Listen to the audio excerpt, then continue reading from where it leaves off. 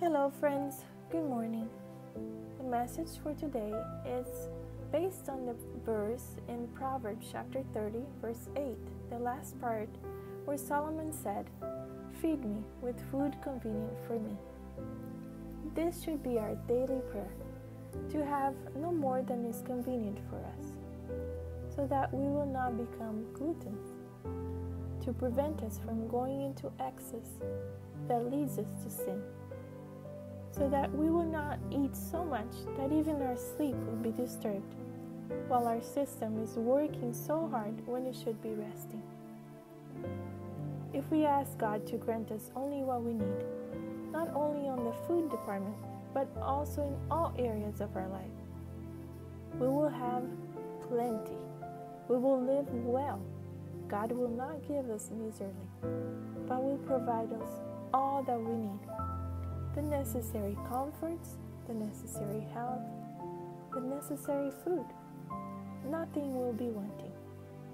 Solomon, the wisest man on earth, would never have made a request like this if it was absurd or bad for him. He made a request that he knew was wise. Feed me with food that is convenient for me. We may learn to trust our Lord and trust that the convenient that He will give us is not a poor convenient. Do you remember when Jesus said, Look at the lilies in the field? They don't work, they don't worry, and no one, not even Solomon, in all his riches, dressed so beautifully as they. Look at the birds. They fly from one place to another, and their food is sure. If God takes such good care of the blade of grass that is here today and gone tomorrow, how much more will He care for us?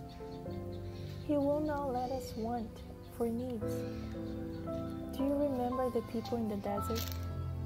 Forty years they traveled, and in those forty years their shoes and their dress did not become worn. God took care of His people and continues to take care of them. For each of us, He cares. Sometimes we worry too much. We have the feeling that the promises that He has made will not be fulfilled in us, in our life. Sister Ruth shares that in her life, many times she had little, and that when sisters around her found this out, they asked her, Why didn't you say something? We could have helped you. Her answer was, I was not in need. She tells that for 10 years she had no mattress to sleep on and only one burner in her stove.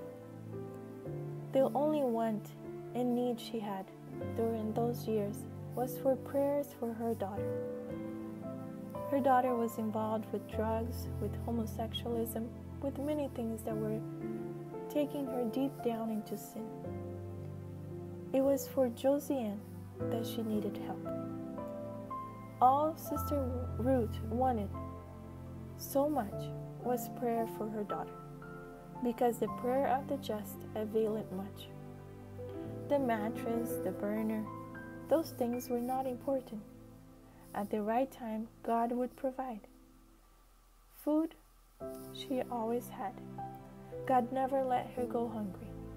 He always provided the food convenient for her. The prayers for Josiane were heard. Maybe not the way that Sister Ruth would have wanted or asked for. She would have liked for her daughter to be with her today, working together in the journey. But the prayers were answered. She sleeps in the Lord, and when Jesus comes, Josiane will wake up to meet her Savior. She will resurrect with a glorified body, with no burn marks, with no mental health issues or diseases, no depression. She will be a perfect human being because God saved her. This, and only this, is the want that she had, that Sister Ruth had. This is the important thing we need. salvation and is what we should be seeking after.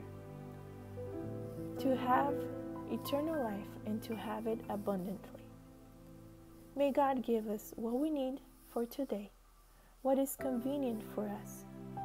And may we learn that what is convenient for us and needful for today, it's a lot.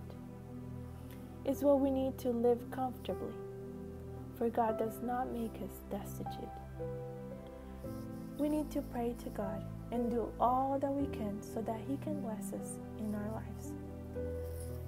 May we have wisdom, faith, and love to God above all things and to our neighbor as to ourselves. May we respect and obey the laws of health as well as the moral laws of God. In this way, living only the time necessary upon this earth and then have eternal life. Pray for me, and I will pray for you, for each of you. I'll be with you again tomorrow, and until then, have a blessed day.